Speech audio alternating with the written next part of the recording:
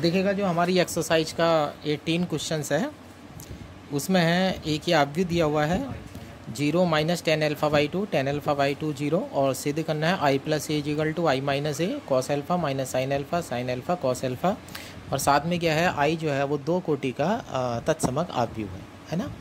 तो अब इसमें दोनों साइड हमें सॉल्व करनी पड़ेगी एल एच एस भी सॉल्व करनी पड़ेगी और आर एच एस भी हमें सॉल्व करनी पड़ेगी। सबसे पहले हम एल एच एस लेते हैं आई प्लस ए आई की वैल्यू हो जाती है हमारी वन ज़ीरो ज़ीरो वन और प्लस ए की वैल्यू रख देते हैं। अब दोनों को हम प्लस कर लेते हैं और हमारी एल एच एस जो है तैयार हो जाती है। उसके बाद हम आर एच एस पर आते हैं। आर एच एस की कैलकुलेशन थोड़ी सी बड़ी हो जाएगी, उसे सिंप्लीफाई करने के लिए थोड़ा शॉर्ट करेंगे। अब आर एच एस में देखिएगा आई माइनस ए है cos alpha minus sine alpha sine alpha और कॉस एल्फ़ा अभी हमने आर एच एस उठा ली है आई का मान रख देते हैं one zero zero one A का मान रख देते हैं। कॉस एल्फ़ा का फार्मूला खोल देते हैं one minus tan square alpha by two upon one plus tan square alpha by two और साइन एल्फ़ा का फार्मूला खोल देते हैं two tan alpha by two upon one plus tan square alpha by two यानी कि हमने अर्ध कोणों में जो है, अपने फार्मूले को खोल गया है। अब इस तरह से जो हमारे एक्सप्रेशंस हैं, ये जो टर्म्स हैं, वो थोड़ी सी बड़ी हो जाती हैं। तो इन्हें छोटा करने के लिए हम tan alpha by two equal to X रख देते हैं।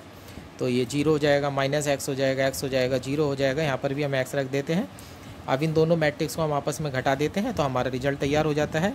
अब यहाँ देखिएगा, इस वाली मैट्रिक्स में यहाँ डिनोमिनेटर यानी कि हर में one upon one plus X square है, यहाँ भी वन प्लस एक्स स्क्वायर है, यहाँ भी वन प्लस एक्स स्क्वायर है, यहाँ भी वन प्लस एक्स स्क्वायर है। और मैट्रिक्स में जब कोई चीज़, मैट्रिक्स में जब कोई अधिस राशि गुणा करती है तो वो सभी पद के साथ गुणा करती है।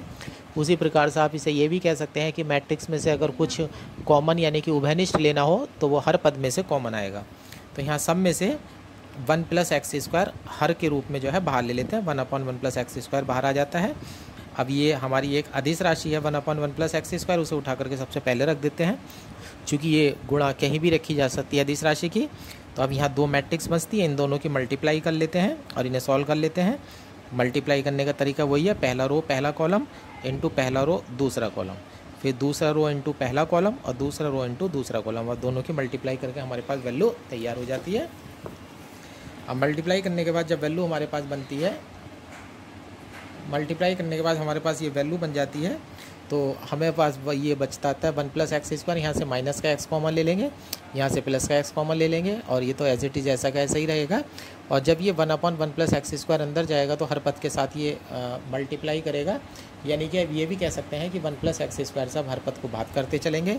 अब यहाँ पर वन बच जाएगा, माइनस एक्स बच जाएगा एक्स बच जाएगा, वन बच जाएगा, और यहाँ पर एक्स की value tan alpha by two वापस रख देते हैं, और हमारा रिज़ल्ट जो है वो तैयार हो जाता है।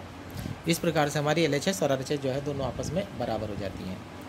फिर 19 क्वेश्चंस में जो बुक में दिया गया है 19 क्वेश्चंस में ये कहा गया है कि एक व्यापारी के पास कुल तीन, तीस हज़ार रुपये हैं। वो रखता है और उसके, उसे जो है दो प्रकार के बॉन्ड में पैसों को निवेश करना है। आ, कुछ पैसे उसे पहले बॉन्ड में लगाने हैं और कुछ पैसे जो है उसे दूसरे बॉन्ड में लगाने हैं। और आपको बताना है कि वो किस बॉन्ड में कितने पैसे लगाए जबकि ए और बी दो पार्ट दे रखे हैं और जबकि कुल ब्याज की प्राप्त राशि जो है वो दे रखी है। ये एक तरह से देखा जाए तो सिक्स सेवन का क्वेश्चन हुआ एक तरह से लेकिन हम इसे आव्यू के गुणनफल से परिभाषित करेंगे क्योंकि हमसे कहा गया है कि आव्यू के गुणनफल से आप इस क्वेश्चन को कीजिएगा। अब जो दो बॉन्ड हैं, उनमें से पहले में पाँच परसेंट का ब्याज है और दूसरे में सात परसेंट का ब्याज है। अब दो बॉन्ड में उसे राशि निवेश करनी है और जबकि तीस हज़ार रुपये हमारे पास कुल राशि है है ना? तो देखिएगा, हम सबसे पहले ये मानते हैं कि माना व्यापारी पहले बॉन्ड में एक्स रुपये लगाता है, दूसरे में तीस हज़ार माइनस एक्स लगाता है। माना व्यापारी प्रथम बॉन्ड में एक्स रुपये तथा दूसरे बॉन्ड में तीस हज़ार माइनस एक्स रुपये निवेश करता है। फिर हम अब अब क्या क्या होता है? अब जब आव्यू की गुणा होती है तो हम पंक्ति की गुणा जो है, वो स्तंभ से करते हैं। पंक्ति गुणा स्तंभ से करते हैं तो आपको ध्यान ये रखना है कि जो आव्यू आप पहले लिखेंगे, वो पंक्ति आव्यू के रूप में होगा जिस आव्यू को आप बाद में लिखेंगे, वो स्तंभ आव्यू के रूप में होगा। अब ये स्टूडेंट्स की अपनी मर्ज़ी होती है, किसे वो पंक्ति आव्यू मान करके चलता है किसे वो स्तंभ आव्यू मान करके चलता है है ना? अब उसके बाद हम ये मानते हैं, माना निवेश किए गए रुपयों को, पंक्ति आव्यू तथा ब्याज के प्रतिशत को स्तंभ आव्यू से प्रदर्शित करते हैं। तो जो निवेश किए गए रुपए हैं, जो कि पहले वाले बॉन्ड में हमने एक्स रुपये लगाए हैं, दूसरे वाले बॉन्ड में हमने तीस हज़ार माइनस एक्स रुपये लगाए हैं। इन्हें हम पंक्ति आव्यू से प्रदर्शित कर रहे हैं और प्रतिशत को जो है हम स्तंभ आव्यू से प्रदर्शित करते हैं। तो माना ए मान लेते हैं, निवेश राशि का आव्यू हो जाता है एक्स आ जाता है तीस हज़ार माइनस एक्स हो जाता है और ब्याज की जो दरें दे रखी हैं, वो पाँच परसेंट और सात परसेंट दे रखी हैं। बी जो है वो ब्याज का प्रतिशत आव्यू हो जाता है, पाँच परसेंट और सात परसेंट। तो परसेंट के लिए बटे में सौ डाल देते हैं, पाँच बटे सौ और सात बटे सौ। अब उसने दिया है कि कुल ब्याज जो है वो अट्ठारह सौ रुपये प्राप्त होता है। अब जब दोनों अवयु का आप गुणनफल करेंगे, पंक्ति इंटू स्तंभ करेंगे तो आपकी कुल ब्याज की राशि प्राप्त हो जाएगी। अब वो हमसे कहता है कि कुल ब्याज जो है वो अट्ठारह सौ रुपये प्राप्त होता है तो यहाँ पर ए, बी का मान अट्ठारह सौ हो जाएगा। अभी देखिएगा, ए का मान रख दिया गया है और बी का मान रख दिया है। अब इन दोनों की गुणा करके इन इन दोनों को सॉल्व कर लेंगे।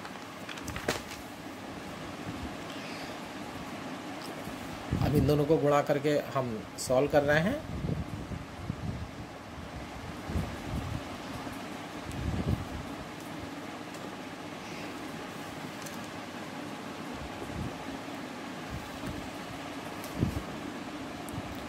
अब देख लीजिएगा, इन दोनों की मल्टीप्लाई करके एक्स की वैल्यू पंद्रह पंद्रह हज़ार आ जाती है।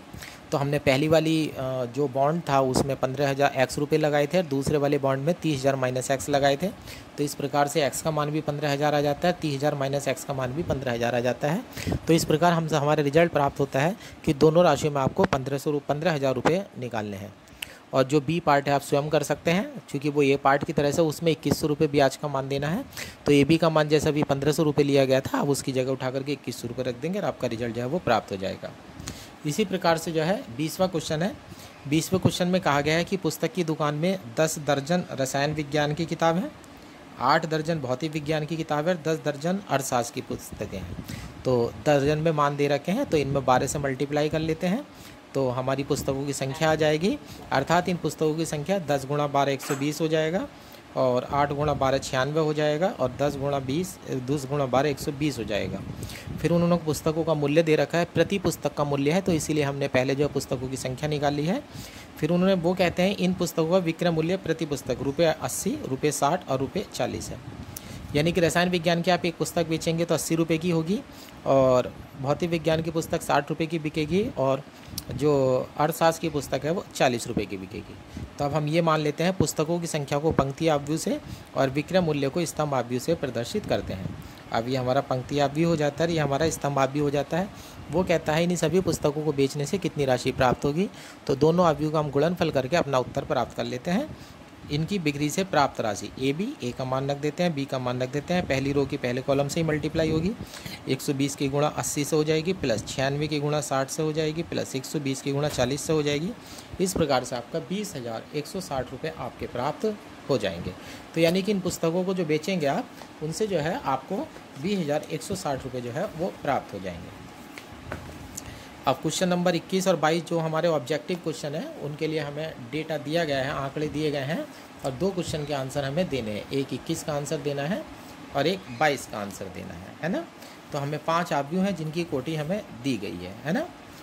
हमें दे रखा है सबसे शुरू में क्वेश्चन दोनों क्वेश्चन के ऊपर दे रखा है। आव्यू एक्स की कोटी दो गुणा एन है वाई की कोटी तीन गुणा के है जेड की कोटी दो गुणा पी है डब्ल्यू की कोटी एन गुणा तीन है और पी की कोटी पी गुणा के है।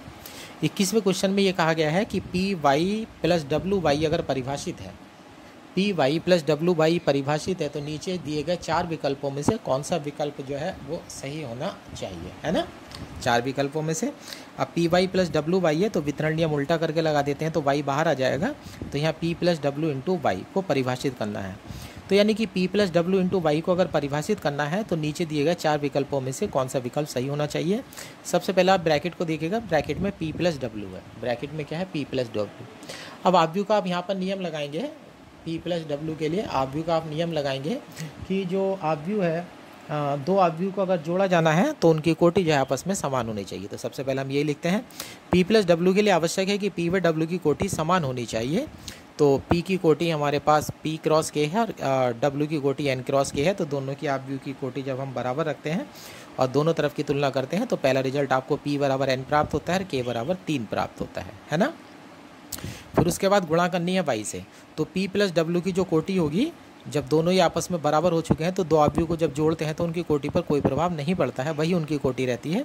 तो पी प्लस डब्ल्यू की जो कोटी होगी, वो पी क्रॉस के कह दीजिएगा या एन क्रॉस थ्री कह दीजिएगा। अब P plus W into Y को अगर परिभाषित करना है तो पी प्लस डब्ल्यू वाला आव्यू पहले रखा हुआ है और वाई वाला आव्यू जो है वो बाद में रखा गया है। और हमें पता है कि दो आव्यू का गुणनफल तब परिभाषित होता है जब पहले रखे गए आव्यू के स्तंभों की संख्या और बाद में रखे गए आव्यू के पंक्ति की संख्या दोनों आपस में बराबर होते हैं। तब हमारा अवयवी का गुणनफल परिभाषित होता है। तो अब P plus W P plus W into Y को परिभाषित करने हैं तो हमने नियम लगा दिया है पी प्लस डब्ल्यू के स्तंभों की संख्या इज़ इक्वल टू वाई के पंक्तियों की संख्या। अब पी प्लस डब्ल्यू के स्तंभ यहाँ से तीन आ जाते हैं और वाई के पंक्तियों की संख्या जो है यहाँ से वाई में देखिए पंक्तियों की संख्या यहाँ पर तीन है तो तीन आ जाती है। तीन इज़ इक्वल टू तीन है, यह सत्य है, यानी कि गुणनफल से हमें कोई नया नियम प्राप्त नहीं होता है सर्व सत्य नियम आ रहा है। तीन बराबर तीन के आ रहा है? तो इस तरह से ये हमारा ऑप्शन सही हो जाएगा पी इजिकल टू एन और के इजिकल टू थ्री ये हमारा ए ऑप्शन है और ये ए ऑप्शन जो है हमारा सही हो जाता है। फिर बाईसवा क्वेश्चन में, बाईसवें क्वेश्चन में कहता है, यदि एन बराबर पी हो तो आव्यू सात एक्स माइनस पाँच जेड की कोटी ज्ञात करनी है। तो यहाँ भी चार ऑप्शन दिए गए हैं ऑब्जेक्टिव में, सात एक्स माइनस पाँच जेड की कोटी। अब देखिएगा सात एक्स है तो आप आव्यू की जब अधिस राशि से गुणा करते हैं तो उसकी कोटि पर कोई प्रभाव नहीं पड़ता तो यानी कि एक्स की कोटि या सात एक्स की कोटि एक ही बात है उसी प्रकार से पाँच जेड अगर है तो पाँच की जब जेड से मल्टीप्लाई करेंगे तो आप आव्यू की कोटि पर कोई प्रभाव नहीं पड़ेगा यानी कि पाँच जेड की कोटि और जेड की कोटि आपस में बराबर रहेंगी तो ऊपर से कोटि उठा लेते हैं सात एक्स की कोटि है सात एक्स की कोटि वही होगी जो एक्स की कोटि है दो गुणा एन हो जाएगी पाँच जेड की कोटि वही होगी जो जेड की कोटि होगी यहाँ से दो गुणा पी हो जाएगी और फिर जब दो, हमें पता है कि दो अवयव को जब हम घटाते हैं या प्लस करते हैं तो उनके अवयव की कोटि के मान में कोई परिवर्तन नहीं होता है। और ज़रूरी शर्त होती है, आवश्यक नियम होता है कि दोनों की कोटि समान होनी चाहिए। तो सात एक्स माइनस जेड की जो कोटि होगी, वो टू क्रॉस एन कह लीजिएगा, टू क्रॉस पी कह लीजिएगा। ये दोनों आपस में बराबर होंगे, क्योंकि हमें दे रखा है सबसे शुरू में ही पी बराबर एन। तो टू क्रॉस एन भी ऑप्शन है, टू क्रॉस पी भी ऑप्शन है। लेकिन टू क्रॉस पी चारों ऑप्शन में से कोई सा नहीं है, टू क्रॉस एन जो है आपका बी ऑप्शन है। इस प्रकार से बी ऑप्शन जो है आपका सही हो जाता है। और इस प्रकार इस एक्सरसाइज के आप बचे हुए क्वेश्चन सरलता से कर सकते हैं, उसमें कोई आपको प्रॉब्लम नहीं होगी।